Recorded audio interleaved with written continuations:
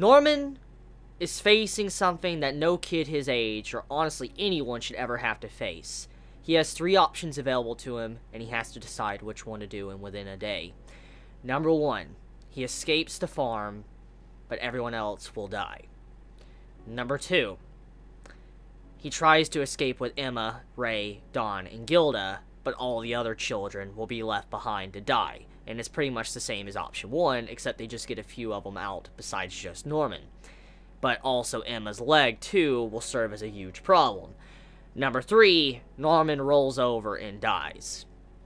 That is honestly a rough decision. Many might think, obviously choose option two, but we gotta factor in from the point of view from Emma and what she wants to do as well. I've already talked about how Emma is very naive and what Ray wants to do as well, but we gotta factor this in, okay? If they do leave, that means all of the children there are destined to die. They're not getting out of there. Security will be completely increased around the entirety of the farm, so no child will ever be able to leave that farm ever again. And so that means that they're completely fucked. And that would mean that once they do leave, all of those children there will definitely die. And Emma is very aware of this. And that is why option 2 is pretty much a no-go, and why Norman is like, I understand why she's like this. Option 1 is pretty much just as bad as option 2. If Norman escapes, it means he's fucking everyone over. He's saving his own self to fuck every single person over. And option 3 means he's willing to be selfless and sacrifice his own self and allow himself to die for everybody else can live on and continue to initiate the plan. But that's still not really a good option as well, because it's kind of sad how he has to face this option. Does he need to prioritize his own life? Or does he need to allow the others to live? And obviously, many would say he needs to choose the selfless option. Many would say, oh, Norman needs to choose the option to where he dies everybody else lives on. Make the noble sacrifice. That's what many might view that as. Like, that would be a good thing to do as a character, because honestly, escaping would be very selfish. People would, you know, kind of nag at Norman as a character, say, this man's a, a fucking asshole for leaving them and all that, and, you know, prioritizing his own life. Many would be very mad at him, but honestly, I can't fault a man that's in that situation. You gotta remember, these are are kids, very young kids, faced with these problems to choose between life or death. And Norman right now, he realized, even though he was accepting to die, like he was willing to die for Emma, Ray, and all of them, he, he was fine with laying down his life, he realized deep down he did want to live. And that's in common human nature that you do want to live. You don't want to die. The normal part of being a human is not wanting to die. You fear death. And that's exactly what was going on.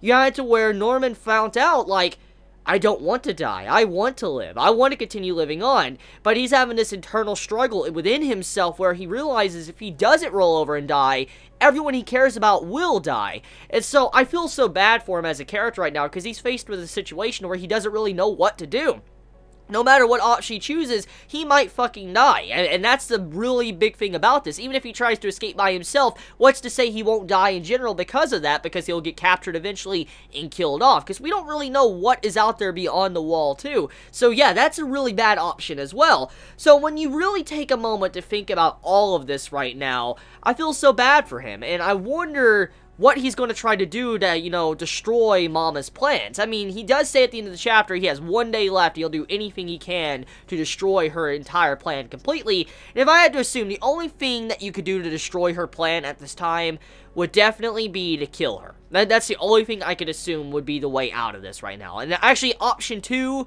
and option four, kill Isabel.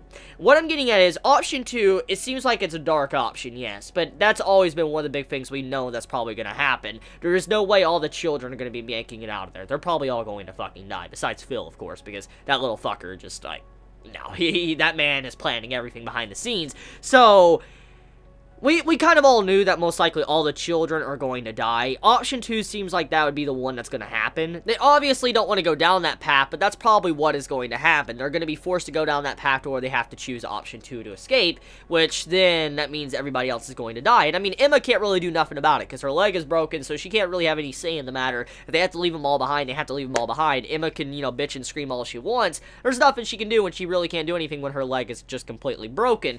So, that's probably what's going to happen if I had to assume. And if it's not that, it's option four. And I feel like this is finally going to push Norman over the edge. we know Norman has a psychotic side, especially from this chapter. It's clear as day this man's kind of fucked up in the head a little bit, just questioning, like, should he roll over and die or not, and just seeing how this man was, like, fine with letting himself die towards the end when he was just walking and all that, and he saw this face of determination on him where he's like, if I'm gonna fucking die, I'm taking her with me. That's kind of the face he was giving in this chapter, and the way it's going, it seems like he might try to do that. It seems like he might try to kill off Isabel to save everyone else. He doesn't care if he has to die. It does seem like he wants to kill her off. And I did notice in this chapter, there was a lot of things in the background that kept popping up.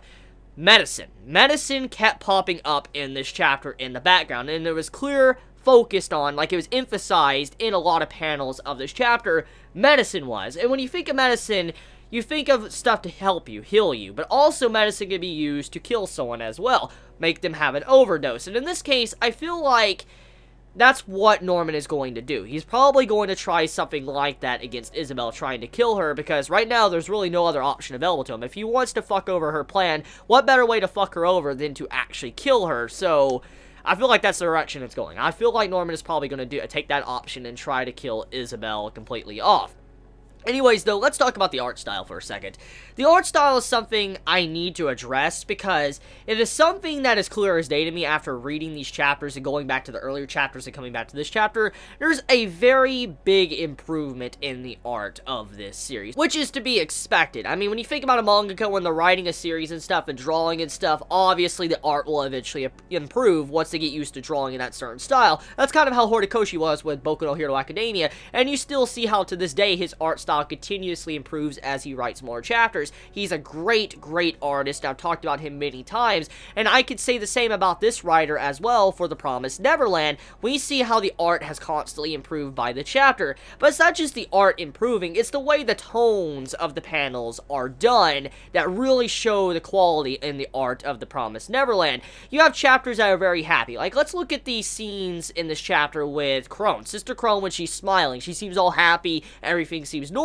She has this regular face, it's not creepy or anything, she just has a smile on her face. And you just see how everything is bubbly and happy. But then you go into the, you know, panels with Norman and when he's just very serious, and you see how the backgrounds are very dark. You have this atmosphere to them that really shows the desperation and the tension in these certain panels. And I noticed that the mangaka is really getting good at that, getting good at showing the tension in these panels through the way the backgrounds are drawn or the way the lines are drawn on the characters. You can see the way the art style shifts from like a serious atmosphere to more of a light-hearted atmosphere. And that's constantly happening throughout the chapters, which we see in this chapter with Sister Krone, then also then when Norman pops up, we see how he acts and how he feels with the way the art is done. So very good stuff right there. I, I really appreciate the way the art style has shifted over the chapters since the beginning of the series and how it's continuously improved since the very beginning.